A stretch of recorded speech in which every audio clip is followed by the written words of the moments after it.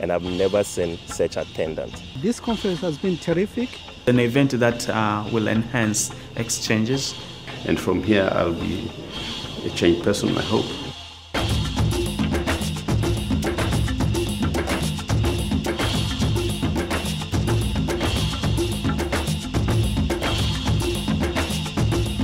eLearning Africa is the premier annual conference on information and communication technologies for development, education and training on the African continent. The sixth event in Dar es Salaam, Tanzania, attracted more than 1,700 participants from over 90 countries, more than 80% from Africa. 322 speakers in 65 parallel sessions explored new ways of learning. Il faut vraiment en Afrique qu'on voit l'intérêt de ces TIC-là dans le développement de nos pays. Donc là, on ne peut pas le faire tout seul à côté. Il faut le faire avec les décideurs. 25 African ministers and deputy ministers and more than 50 high-level government officials discussed how the innovative use of technology can transform African education. eLearning Africa, we've started uh, collaborating at the beginning with uh, the organizer and is for us is very critical for the continent because is uh, a kind of more than awareness raising the capacity building best practice sharing information and knowledge sharing 57 companies and organizations showcase their latest learning technology products and services at the eLearning Africa exhibition. Participants were able to see and compare the most recent solutions.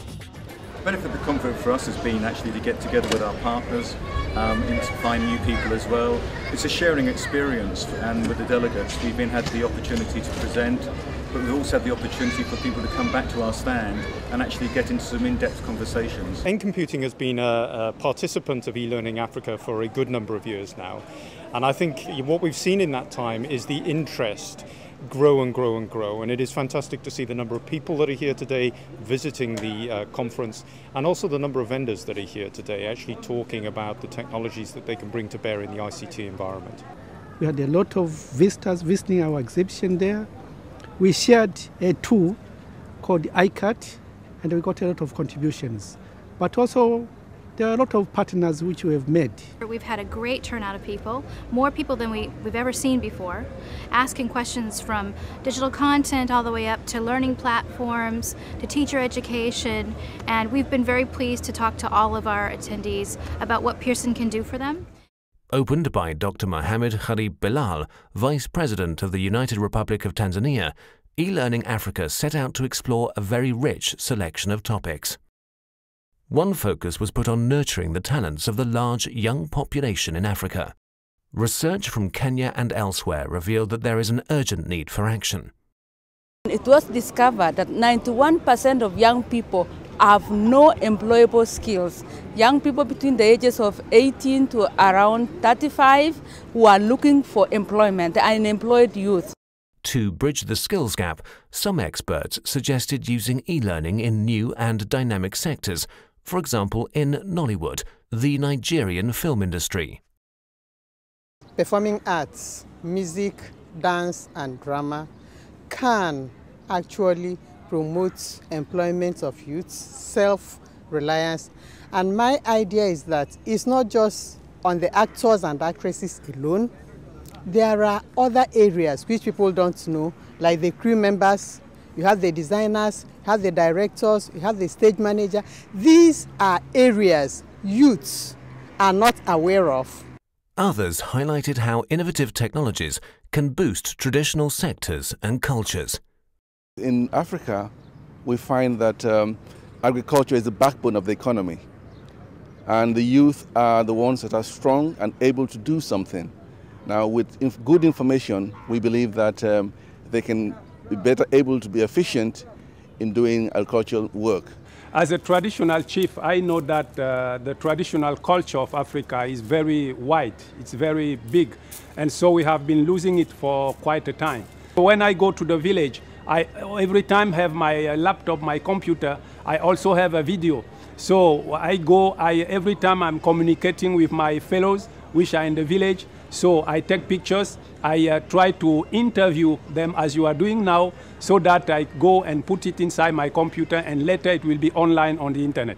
One of the trends identified was the growing use of interactive Web 2.0 technologies and social media for educational purposes. Topics range from the rising popularity of Facebook in Tanzania to online sex education in Uganda. For Young people within our sexuality education program, at the end of every topic, they produce artifacts, uh, art piece. It can also be in terms of poems. It can be in terms of uh, what message they want to give. It can be in terms of their personal testimonies. We also share these ones on the online support center so that the students whom can benefit from what the other people, the other youth are doing. My research shows very clearly that Facebook is becoming increasingly popular among students. There are more and more users for each year of students coming in. And uh, about half the students at the college roughly are now using Facebook. So they go from never having used the internet to actually start using Facebook right away. Discussions revealed that ICT infrastructures remain a big challenge. Young people urge their governments to improve internet connectivity. Formal IT help desks were suggested to overcome technical problems, not only in the corporate sector, but also in African higher education. Much time is wasted trying to get help. When you have a problem with your computer, you have to carry your PC from one office to the other, which sometimes is about kilos, kilometers. And these are these are not the best way things are handled. You can you can write write sit in your office, just maybe log in your problem, and this will be sorted out. In 2011, a dedicated research stream was introduced, featuring topics as diverse as African digital identities and the use of collaborative tools in marginalized schooling contexts. The research stream uh, was an experiment and I think it worked very well um, and it interested a great number of people um, and I think it holds huge possibilities for um, the prospect of um, promoting knowledge production about Africa. E-Learning Africa also offered a range of exciting social and cultural events, providing important spaces for extended networking. There's of course the networking, okay? Because beyond the presentations, beyond all this, there's a lot of human-to-human interaction, and I think the networking is one of the best uh, benefits from the conference. E-Learning Africa once more proved to be the ideal platform for high-level decision makers to forge new partnerships and collaborations. I've learned that uh, between the, the, African nations or the African Union and NATO, it's not too much difference in principle. You know, we, we both have the opinion we need to share a lot, we both have the opinion that uh, we have a kind of revolution in training, in education and training, and that means we have to use all the instruments, and here it is called ICT. Such discussion and knowledge of what is going right in which countries uh, will help me as minister responsible for education determining how we should go with the with the program uh, since as I said it's now on the drawing board but also it's going to help us um, or me and experts knowing where to go. One of the key messages of eLearning Africa 2011 was conveyed in its vivid parliamentary style debate on the pros and cons of open educational resources, the need to share. In Africa, the youth will force the institutions to share. You, don't, you may not want to share today, maybe tomorrow, but by next e-learning Africa, you'll be sharing. Take it from me.